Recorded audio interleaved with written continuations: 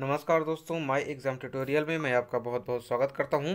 दोस्तों, आज हमारी मुलाकात आपसे कई दिन बाद हो रही है, लेकिन इस मुलाकात में मैं आपके लिए एक बहुत ही अच्छी खुशखबरी भी लेकर आया हूँ। दोस्तों, जैसे कि आप देख पा रहे हैं, कैंटोनमेंट बोर्ड पुणे छावनी के लिए दो हज़ार इक्कीस के लिए वैकेंसी दी गई है। ये वैकेंसी कैंटोनमेंट बोर्ड दिल्ली के अंडर में आएगी, जो कि पुणे छावनी के लिए है। यानी कि आपकी पोस्टिंग जो है वो पुणे छावली में होगी। हालाँकि इसमें ज़रूरत के आधार पर मिनिस्ट्री ऑफ़ डिफेंस के निर्देशों के अनुसार आपकी पोस्टिंग कहीं कहीं पर भी हो सकती है कि देश के किसी भी स्थान पर हो सकती है। इस बार जो वैकेंसी दी गई है वो junior Hindi translator Hindi typists यानी कि सब डिविजनल ऑफिसर के लिए वैकेंसी दी गई है। इसमें कुल संतानवे पोस्ट यानी कि 97 पद दिए गए हैं, जिसकी अंतिम तिथि 15 जनवरी 2022 दी गई है। इस वीडियो में हम जानने वाले हैं इस वैकेंसी के बारे में सारी की सारी जानकारी। जैसे कि किस कैटेगरी के लिए कितनी वैकेंसी दी गई है, किस पोस्ट के लिए एग्ज़ाम पैटर्न क्या रहने वाला है, आपका एग्ज़ाम पैटर्न क्या रहेगा, उसमें सिलेक्शन प्रोसेस क्या है, सारी की सारी चीज़ें हम इसमें कवर करने वाले हैं। एज लिमिट क्या है एग्ज़ाम फ़ीस क्या है, सारी की सारी चीज़ें। लेकिन दोस्तों आगे चलने से पहले यदि हमारे चैनल पर पहली बार विज़िट कर तो चैनल को सब्सक्राइब कर लें और बेल आइकॉन पर क्लिक करें, जिससे कि जॉब से संबंधित सभी प्रकार की अपडेट्स और नोटिफिकेशन आपको समय समय पर मिलती रहे और स्टडी मटेरियल की भी नोटिफिकेशन आपसे मिस न होने पाए। तो बिना देर के हुए चलिए शुरू करते हैं। तो दोस्तों, जैसा कि आप देख रहे हैं कि यह गवर्नमेंट ऑफ़ इंडिया का है। प्रधान निदेशालय, रक्षा संपदा, भारत सरकार, रक्षा मंत्रालय दक्षिणी कमांड कोंडवा मार्ग, पुणे छावनी, ठीक है? ये आपका जो वैकेंसी डिटेल है, यहाँ पर हम देख लेते हैं। यह जू जूनियर हिंदी ट्रांसलेटर के लिए जो वैकेंसी है, कुल सात पद दिए गए हैं, जिसमें सामान्य के लिए पाँच पद हैं ओबीसी के लिए कोई पद नहीं दिए गए एससी के लिए कोई पद नहीं है एसटी के लिए कोई पद नहीं है, और ईडब्ल्यूएस के लिए दो पद यहाँ पर दिए गए हैं। यानी कि ओबीसी एससी एसटी के कैंडिडेट्स आप सामान्य में यहाँ पर अप्लाई कर सकते हैं। इसके लिए जो एज लिमिट है आपकी, वो 18 से 30 साल के बीच में होनी चाहिए। 15 जनवरी 2022 को आपकी एज लिमिट कैलकुलेट की जाएगी। 15 जनवरी 2022 को आपकी जो उम्र है, वो 30 साल से ज़्यादा और 18 साल से कम की नहीं होनी चाहिए। हमारी दूसरी वैकेंसी है सब डिविजनल ऑफिसर की।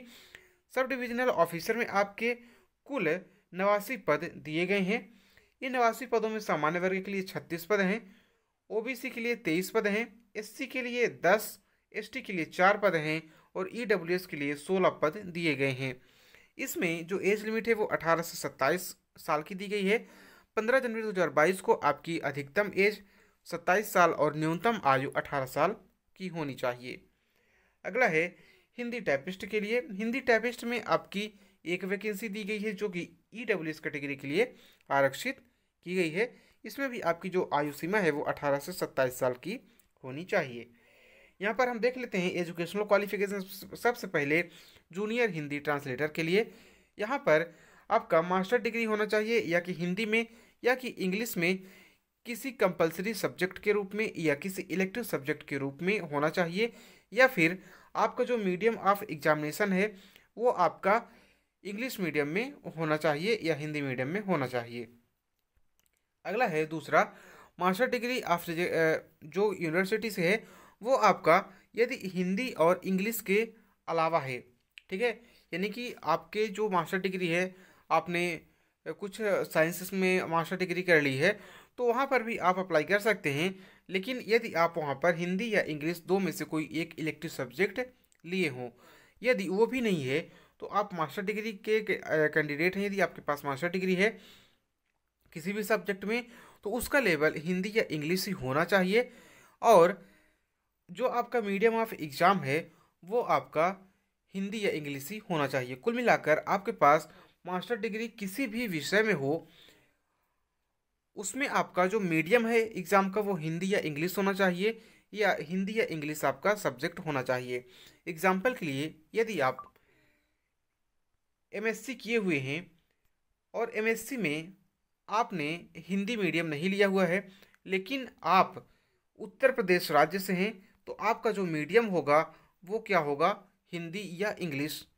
ठीक है? तो आप यहाँ पर अप्लाई कर सकते हैं। लेकिन यदि आप आंध्र प्रदेश राज्य से हैं या कर्नाटक राज्य से हैं तो वहाँ पर आपका जो मीडियम है, वो हिंदी या इंग्लिश ही होना चाहिए। इन दोनों के अलावा कोई आप क्षेत्रीय भाषा का मीडियम लिए हैं तो वो आपकी मास्टर डिग्री मान्य नहीं होगी। अगला है educational qualification for sub divisional officer, यानी कि एसडीओ के लिए। एसडीओ के लिए जो आपकी एजुकेशनल क्वालिफिकेशन वो मेट्रिकुलेशन, यानी कि टेंथ होना चाहिए। टेंथ के बाद आप में डिप्लोमा किया हो, सर्विंग में या ड्राफ्ट्समैन सिविल में आपका डिप्लोमा होना चाहिए, जिसकी अवधि कम से कम दो साल की हो। तीसरा है हमारा educational qualification for Hindi typist. Hindi typist के लिए आपका मेट्रिकुलेशन होना चाहिए और हिंदी में 25 शब्द प्रति मिनट की आपकी टाइपिंग स्पीड होनी चाहिए। अगला चीज़ है हमारा exam pattern for junior Hindi translator के लिए, जूनियर हिंदी ट्रांसलेटर के जो आपका एग्ज़ाम पैटर्न है, वह कुल 200 नंबर का होगा, जिसमें आपका जूनियर हिंदी ट्रांसलेटर के कुल 120 प्रश्न 120 नंबर के प्रश्न आपके पूछे जाएँगे।